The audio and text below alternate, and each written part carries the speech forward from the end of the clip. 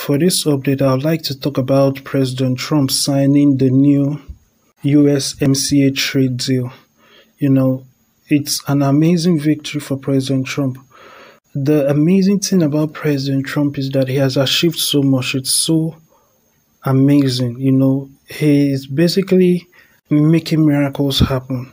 Now, this trade deal, it's amazing and it's the first deal in 20 years, you know, that has been actually supported by the largest trade union in the United States. So the middle class people, the workers, the everyday people, this is actually what they want.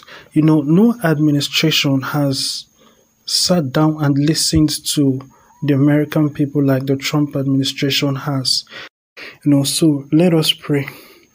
In Jesus' name. Lord Father, we thank you for this day. We bless your holy name. First of all, we thank you, Lord Father, for President Trump. We thank you, Lord Father, for all that he's doing for America, for the advances, for the changes, for the improvements. Oh Lord Father, I bless your holy name for the lives of the workers continually get improved in the name of Jesus Christ. Oh Lord Father, we pray, oh Lord Father, that the truth will continue to shine for the truth will continue to reign and prevail in the name of Jesus Christ. Oh Lord Father, I pray, oh Lord, that the truth about President Trump is what will be seen all across America and all across the world. The respect, the thanks, the gratitude that he re- he deserves he would get in the name of Jesus Christ. Oh Lord Father, I thank you and I bless name for the Trump family. I thank you for Ivanka Trump, for Donald Jr., for Eric Trump, for Tiffany, for Barron, and for his wife.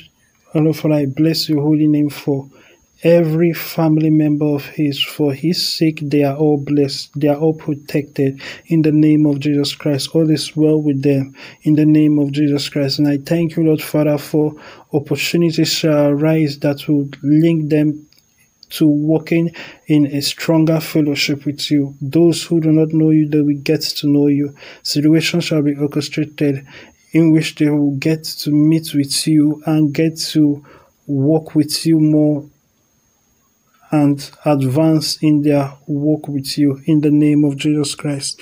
Oh Lord Father, I thank you, Lord Father, for your grace.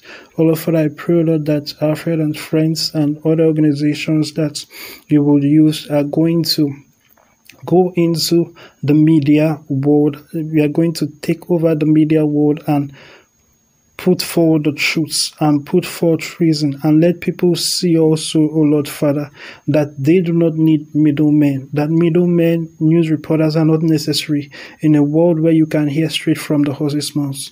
People would understand the value of hearing it from the source from looking at things for themselves, looking into things for themselves, and stop this dependence on the minds of other people to make decisions for them. They will stop this dependence on the opinions and the validation of other people to determine what they feel about themselves and what they know about themselves or the world. In the name of Jesus Christ, blessed be your holy name forever. Hallelujah if you just say that prayer, I would like you to go to pastoralfred.com, you know, or you could go to alfredandfriends.com and click on the salvation prayer link in the main menu. Both sites have it and say that prayer there if you have not given your life to Christ. If you are not a Christian, it's very important that you become a Christian. I would like you to do that now. Also, remember to subscribe to alfredandfriends.com. Once again, thank you and God bless you. Today, we're finally ending the NAFTA nightmare and signing into law the brand new U.S. Mexico Canada agreement. Very special. Very, very special. The USMCA is the largest, fairest, most balanced, and modern trade agreement ever achieved.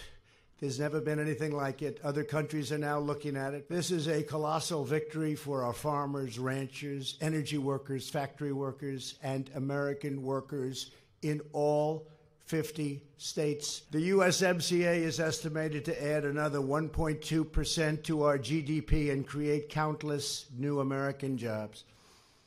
It will make our blue collar boom, which is beyond anybody's expectation.